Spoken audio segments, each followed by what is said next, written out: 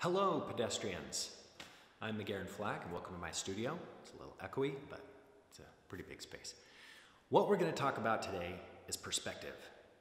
More specifically, one and two point perspective. I'll go over the rules and laws with you.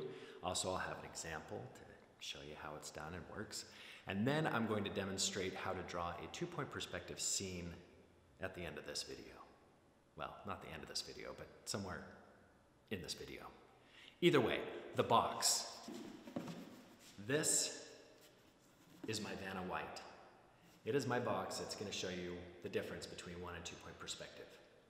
So let's get on with the first easy stuff. One point perspective. If you're looking at the flat portion of a box, there's a flat plane, it's called a plane. Flat portion of the box, then you're looking at a one point perspective.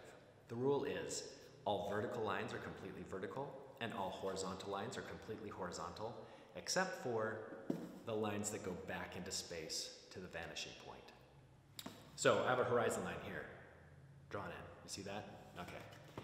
The horizon line is where our eye is looking at objects. So if I have this box at the horizon line and it's at one point perspective, which this box currently is, you can tell because all the vertical lines are vertical and all the horizontal lines are horizontal. Beep, beep, beep, beep. Pretty good. Now, if I shift it down below the horizon line, you can now see the top of the box and that these lines eventually go and disappear somewhere in the horizon line, like behind my head somewhere. So those lines are the ones that vanish. This is completely horizontal, this is completely horizontal, and these guys are completely vertical. If I lift it above the horizon line, you can now see the under part of the box. Same thing. If I shift it off to the right, you'll see the left side of this box, not the right, the left side. And if I shift it off to the left, I will see the right side of this box. See, right side. These lines go to the vanishing point. These are all vertical. These are all horizontal. Got it? That's one point perspective. Two point perspective. Gets a little bit trickier. This is what happens. Wait for it. Wait for it. Yeah, that just happened. Okay, you're looking at a corner. Whenever you look at a corner of an object, that means it's at least two point perspective. Could be three point, maybe we'll get into that later. But this is two point perspective because I'm looking at a corner where two planes come together and hit each other. So you're looking at a corner of a bedroom, corner of a box, it's most likely two point perspective. Now the rules. All vertical lines are completely vertical in two point perspective. Every other line goes to one of the two vanishing points. Here's my example. Have the box. We're looking at a corner. It's completely vertical. Same with the edges. These other corners, completely vertical. All of the lines that describe the depth of this plane go off to the right.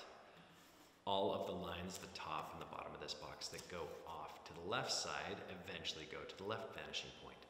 So you can see that this distance is smaller than that distance. All vertical lines are completely vertical. Every other line goes to one of the two vanishing points. Here's an example below the horizon. Look at that, fancy. And above the horizon, we can look underneath it. If I shift a two-point perspective off to the side, you can see that you'll see more of this left side of the box than the right side. And if I shift it off to the left side, you can see there's less of the left side and more of the right side that we're seeing because of that shift. If I put it right in the middle, you're gonna see a good division, 50-50 on both sides. I hope that clears it up, the difference between one and two point perspective. So what is this? I didn't hear you. It should be one point perspective. And what is this? Two point perspective. Good work. Pretty simple stuff, right? Now I'm going to demonstrate how to draw a two point perspective scene with a bunch of lines. I hope you enjoy it. And please leave some feedback down below.